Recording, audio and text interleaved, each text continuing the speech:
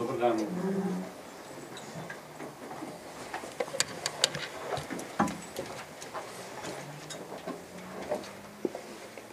Torej, lep eh, pozdrav vsem skupaj.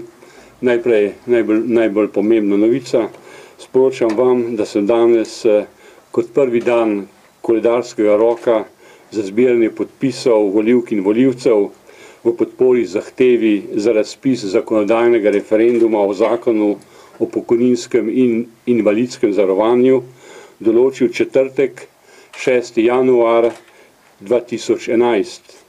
Zadnji, torej 35. dan za zbiranje podpisov pa je seveda sreda 9. februar 2011.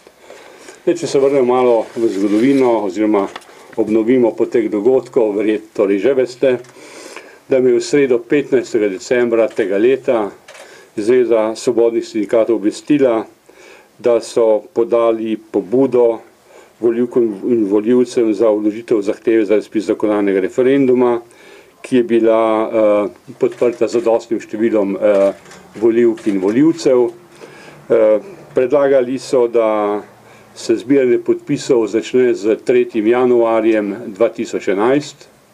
Vmes je, kot vemo, državni svet 21. Eh, decembra 2011 eh, sprejel zahtevo, da državni zbor ponovno odloča o tem zakonu, eh, tako vani sprejel je, torej dal je veto na ta zakon in državni zbor je dva dni pozneje, to je 23. decembra, z ustavno določeno večino, to je absolutno večino 46 in več poslanc in poslancev, ponovno odločil o zakonu in ga sprejel. Od tedaj naprej je začel teči novi rok, sedmdnevni rok za zbiranje, za vlaganje pobud ali zahtev za razpis za referendum. Ta rok se je potem iztekel včeraj, nobene nove pobude ali zahteve za referendum ni bilo in zato sem seveda danes eh, v skladu s tem, da veljajo eh, podpisi, ki so bili že prej zbrani, tudi se odločil in dal in razpisal rok za zbiranje podpisov voljivk in voljivcev uh, za, za to, da se izvede zakonodajni referendum. Kot veste, je treba v 35 dneh zbrati 40 tisoč uh, podpisov volilnih upravičencev in pravičenk, sve na upravnih enotah. Zakaj 6.1. in ne 3.1.2011, kot je sicer sugerirala uh, Zveza svobodnih sindikatov. Danes smo, kot veste, 31. decembra, in danes je, kot vemo, ne, tudi Silvestro.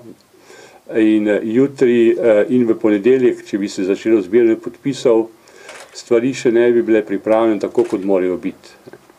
Predvsem uh, lahko računamo sicer, da bi upravne note že lahko se pripravile tekom ponedeljka, v ponedeljek, in da bi torek eh, mogoče že lahko začeli zbirati podpise vendar je treba zagotoviti pogoje tudi za zbiranje podpisov v bolnišnicah, eh, domovih za ostareli in podobnih inštitucijah, eh, kjer pa seveda potrebujejo nekoliko več časa. Ti dopisi bodo šli danes ven eh, in seveda potem po dopisu, ko pride, je treba imeti vsaj še dan, dva, da so vzpostavljeni vsi ti pogoji in okoliščine za nemoteno zbiranje podpisov tudi na teh inštitucijah, in tako se je najbolj korektna odločitev, da uh, se začne zbiranje podpisov 6. januarja, ker bo takrat res se pripravljeno za to, da tisti, ki bojo to želeli podpisati, ne bojo imeli nobenih ovir, da bi to tudi podpisali. No, se zadnje rabimo tudi še sestanek eh, s pobudniki eh, zbiranja podpisov tu eh, v državnem zboru, ta bo v ponedeljek, danes eh, nismo mogli nobenega preklicati, ne, čeprav je samo petek, ne, ampak vseeno. Uh, in računamo, da bo, da bo takšen, uh, uh, takšen sestanek v ponedeljek. Tudi mislim, da sem obveščen, da so rezultati že bili objavljeni referenduma uh, v uradnem listu. Uh, uradni list, uradni list, tudi uradni, v uradnem listu to, uh, tudi ta moja zahteva, ne, bo uh, šele objavljena in tako naprej. Torej, vse te stvari so takšne, da narekujejo, da vendarle gremo tri dni pozneje z zbiranjem podpisov, eh, če želimo zagotoviti, da bodo od prvega dne zbiranja podpisov naprej, vsi pogoji za nemoteno zbiranje podpisov tudi zagotovljeni. To je vse z moje strani. Kakšno vprašanje?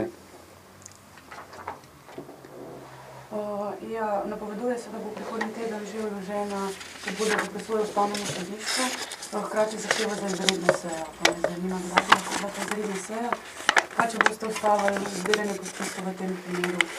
Verjetno do končne odločitve. Najprej treba reči, da kolikor bi uh, državni zbor uh, uh, naslovil zahtevo ustavnemu sodišču, da presoje ustavnosti uh, uh, oziroma usta, o neustavnih oziroma neustavnih posledicah uh, zakona, če ne bi bil uveljavljen, ne, uh, bo seveda zbiranje podpisov se v tistem trenutku seveda prekinilo. Uh, kdaj bo ta pobuda oziroma zahteva držav, v državnemu zboru vložena, koliko in kdaj bojo ti podpisi, vam je zdaj ne morem reči. Obeti so takšni, kot jih vi. To, točno to vem tudi jaz, kar ste mi vi vprašali. Če bo bom seveda v skladu z pristojnosti, ki, ki mi jih daje zakon, oziroma poslovnik državnega zbora, seveda skličil sejo v, v primernem terminu in seveda tudi eh, omogočil, da se državni zbor potem odloči in pošlje ali pa ne pošlje takšne, takšne zahteve na ustavno sodišče. Jaz vam zdaj v tem trenutku ne morem reči eh, datuma eh, te seje, ker še niti rekel pobude za to, da bi lahko eh, eh, sploh o tem, kdaj to se je sklicati, nimam.